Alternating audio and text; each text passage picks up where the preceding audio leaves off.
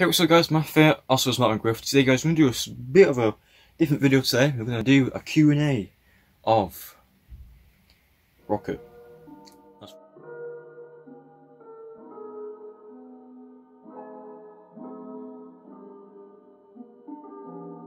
We're going to do a Q&A today, and I went on my Instagram and asked you guys to do some questions. Thank you to the people who did some questions, the people who just saw my posts and just went sub sub. I yeah, you, are not you're not gonna get any credit. Okay, the first question is um, for Noah. Um, what made you choose? What made you choose to name him Rocket? Can, can you chill, kid? So when I got him, it was sort of near like my birthday, and we didn't give him a birthday. I don't know why, but I I didn't know what to call him. Can you are you trying to kill me or something? Like, I can still breathe. So, I think, yeah, bonfire was coming up and I, and I didn't know what to call him. And then I was sat there, I think, with my mum and my sister, and we were like, we're trying to think of names. And my mum actually suggested um, Rocket. I called him Rocket because of his colour. Rockets and Bonfire Night, they are colourful and he is fast. Just like a rocket. Like, he's still fast now at the moment. But when he was younger, he'd go boom right away. But yeah, he's still fast now. You can just ease the game because he's a long, long noodle. Next question is from Nugget the Hamster 21. Love the name by the way. That is beautiful. Um, what does Rocket eat? Okay, so he's now began to eat weaner rats. Weaner rats are basically like I don't know why they call them weaner rats. It's just the name of the size. So he's on them. They are pretty big. Um, I did feed him one this week so it's pretty good. Um, and he took it down like a champ. It was quite big for him, but he managed to get it, and it's not uncommon for him to have weaner rats. So yeah, he eats them. Um, but if you wonder around the way, they are not live; they are frozen.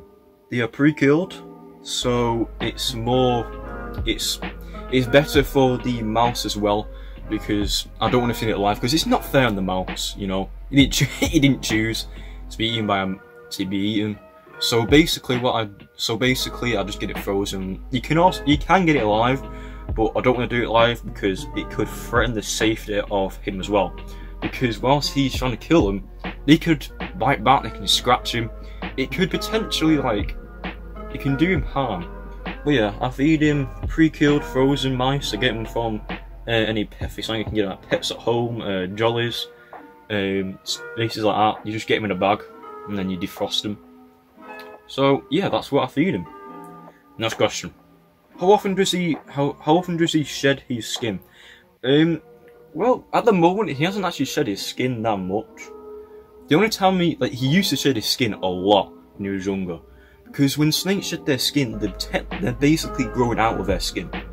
So their new skin is basically so they don't I don't know so when they shed their skin, the old skin goes and the new skin comes out. no, I don't want to eat you, man. So that that's basically how his skin his skin goes. So when he was younger, he used to shed his skin like a lot. I mean, I mean a lot. Like he used, he did it so many times. So he hasn't shed that much when he was younger. He shed a lot, mostly because he was growing at that time. So because he's older now, he's not growing that much. He practically has grown as enough of what he can. And because of that, he can actually, he's trying to kill me, I swear God he is. Well, so because of that, he doesn't shed his skin a lot. I think last year he only shed his skin like three times. So, yeah. So he didn't shed his skin a lot because he's old. Um, he's mo he has he's mostly gone as big as he can. He can go bigger. He can go up to six foot. That's how big the uh, corn snakes can actually get, and that's pretty big as well, especially. Um, but he hasn't shed his skin a lot, um, mostly, so when he does shed his skin, I will practically share it as well. As you can see, this past one's just over there, and yeah. Next question is from uh, Elisa Max. How fragile is is the shedded layer? Uh, do you keep it, and does Rocket feel smooth afterwards?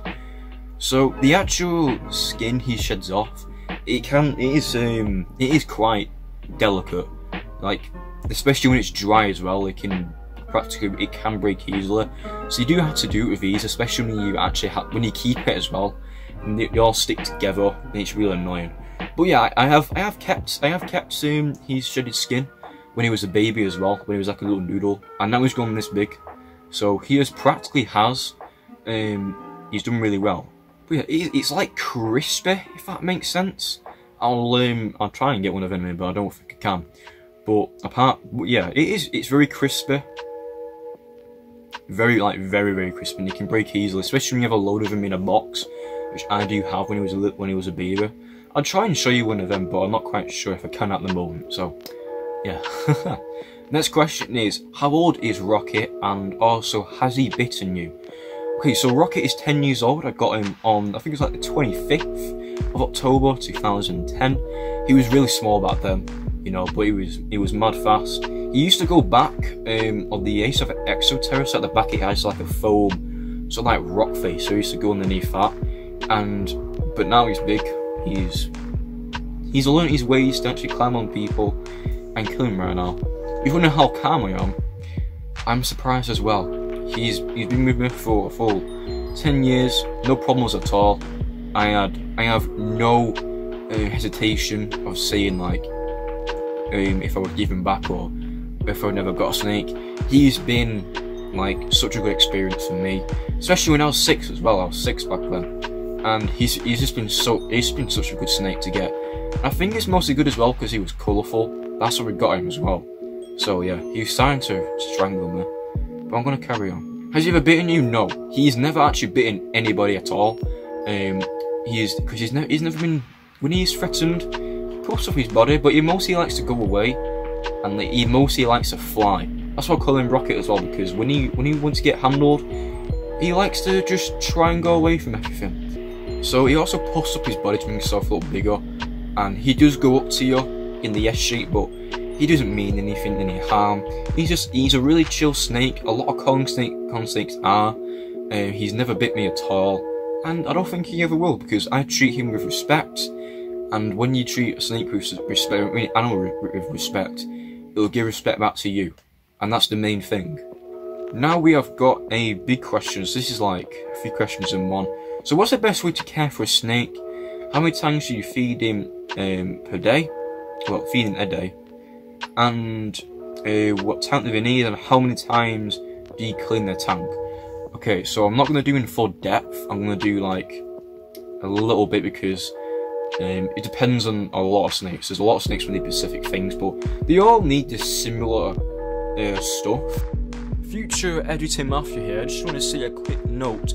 Do not just take this on if you're going to buy snakes. So if you are going to buy a snake, do not just use this. This is not an actual in-depth um, video of how to actually take care of a snake. Like I said, there's a lot of specific species but do you need like specific standards or temperature and stuff like that. So make sure when you are getting your first snake, do research of, of it if it's a good one to get um, for your first snake and what the actual standards are for it because some things that are wrong it can actually affect its health and it can actually potentially kill it. I know there's a, there's a, a some species out there or snake where if you have the improper setup, it can kill it within weeks or even days, which is really a shame. So do not take this um, as one advice. Do your research and do the right thing. Anyway, enjoy the rest of the video. For example, um, in your tank, all you need is a cold, cold side with a hide on there and a warm side with a hide on there. The basic, or this low spacing from high, for example, Rocket has got one on his cold side. He's got a big, beautiful branch for his cold side, he loves that right now. That's where I'd found him in, in there as well. I'm surprised that I got him out.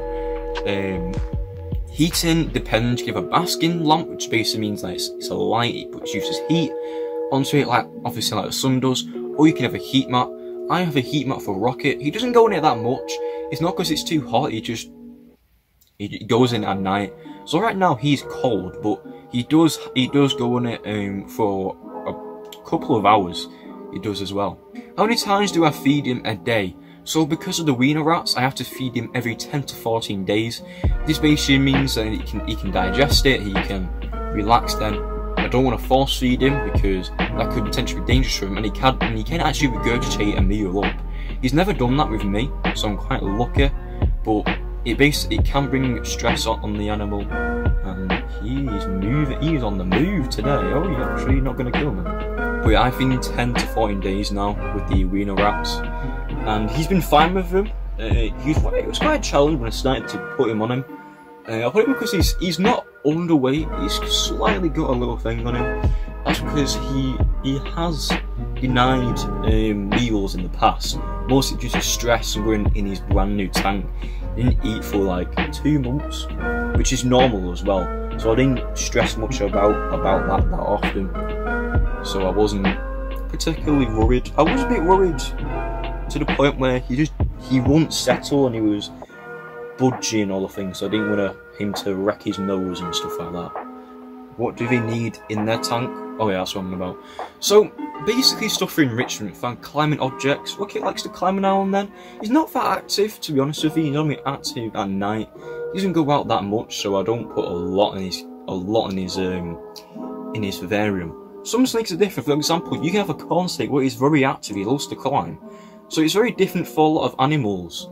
This, which is practically the same. For example, you can have the exact same morph of Rocket, and he'll be even more active. If he will like to climb and stuff like that. It does vary, um, snakes, you know. Each one has a personality, and Rocket just decides to chill. He doesn't like to go out that much, especially when he's old as well. He likes to relax in, in his hide, and that's his choice. And I respect that, and yeah. How many times you need to clear a tank? So there's two types of clean, one's spot clean and one's deep clean. So spot clean is basically where no, I don't like what you're doing, you're gonna poo my thing on. So spot clean as I was saying is uh, basically where you you look in the tank, you see there's, see there's poo there or the like waste flat, then you just pick it up and then you get rid of it. And deep clean is when you change the whole entire substrate, like you basically like, you clean everything. I clean everything as well when it says when it's when I do a deep clean slash substrate change. This is I don't you don't have to do this much often. I do it mostly three times per year. I don't know what that is. I might take him to the vet because I don't want it to be very concerning, but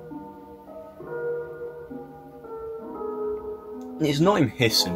I've heard him hiss before, but that's not hissing. If you have more questions, by the way, I'll be happy to do another Q&A. You don't have to do uh, questions on Rocket, just about you can do it on basically any any snake, like uh, snakes in general.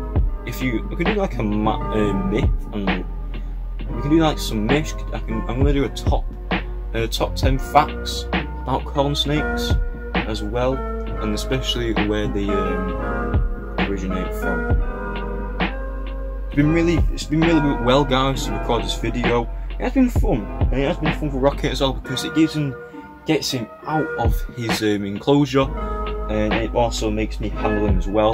So it's also in one. I record a video, he gets out of his hide, and he also gets to stretch. Hey guys, if you want to see more videos of Rocket, then please let me know in the comments down below, or just by simply liking this video, and you are freaking out. Look at that. Yeah, that's best. Look at that. One hand, boom. so if you want to see more videos of Rocket, make sure to uh, like this video and subscribe, so you can actually see videos from the game.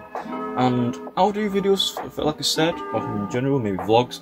If you want to see him feeding, make sure to like this video and I'll do a feeding episode. This will appear, maybe in, this will appear in two weeks, because I've already fed him um, this week. So, yeah. Anyway guys, thank you guys so much for watching, and I'll see you guys later. Peace.